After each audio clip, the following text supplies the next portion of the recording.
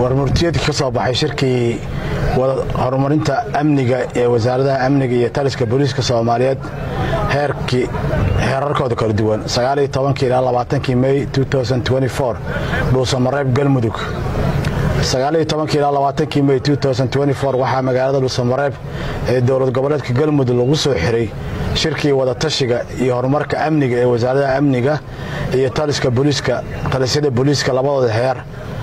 shirkaa waxaa ka qayb galay wasaaradda amniga ee labada heer taliska booliiska iyo federaalka iyo taliska booliiska ee dowlad goboleedka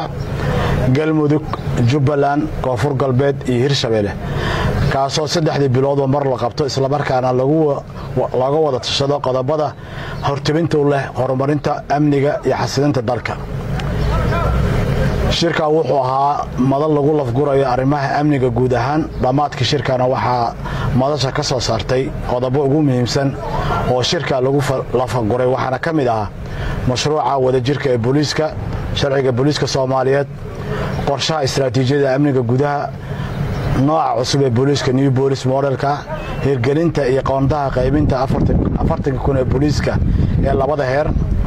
qorshaha iyo xasilinta goobaha la xoreeyey bixitaanka admis kadib qorshaha howl